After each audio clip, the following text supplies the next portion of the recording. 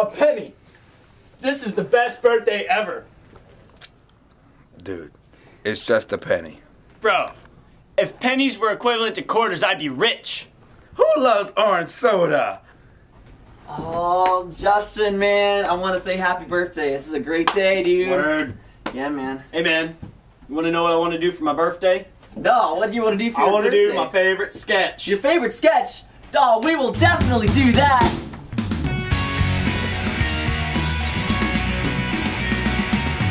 Oh, hi.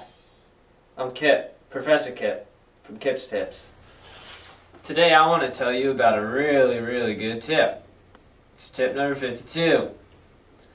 Tip number 52 has to do with this cold weather we've been having. It's real cold. I know you know it. I know it. I really know it. It's real cold out there. Let me tell you how to stay warm in that cold weather. Paper towels. That's right. They'll keep you warm. Anything really that you want to put between you and your sweater or jacket is going to create more space between the two of you and create more heat.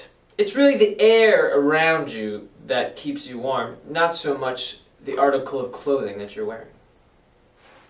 I suggest paper towels. But I've known some kids to put uh, tissues cotton balls, and cats. Now that might sound weird to you, but as the cats move around between you and your garment, that's really going to keep you warm. You might need to feed them every so often, but you're not going to get Cold. if you know what I mean.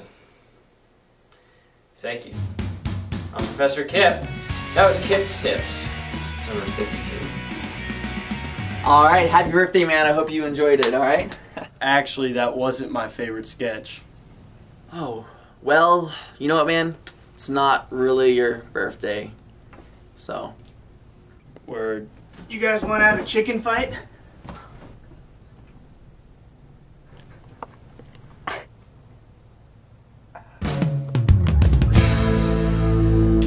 all right, Kyle, stop playing with the gun.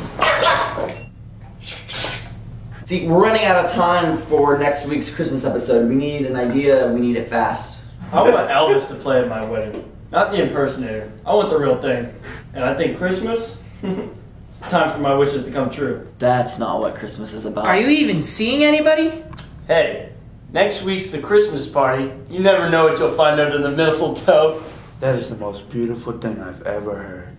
Why can't I say things like that, Chris? No, no, that is not what the Christmas party is about. It's about learning about Jesus. Cookies.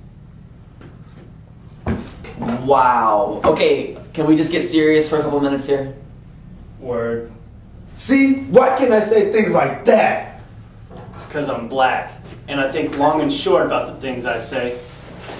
Listen, Anthony, look, what's that important to you? We'll give you a catchphrase, but seriously, what's up with the tree? Marcus, get out of here!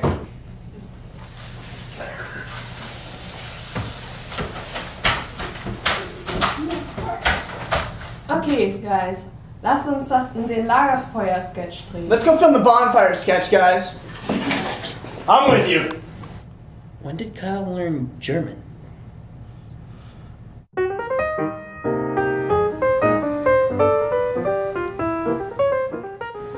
You tired of faking fire to stay warm?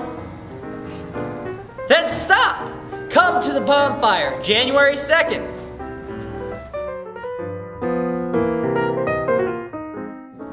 But wait, there's more! We're going to burn this Christmas tree, we're going to burn his Christmas tree, his Christmas tree, your Christmas tree! We are going to burn all the Christmas trees! Bonfire, January 2nd at Colby's house. More information to come. You can stop. Hey! Ah! My hair's on fire! Who loves orange soda?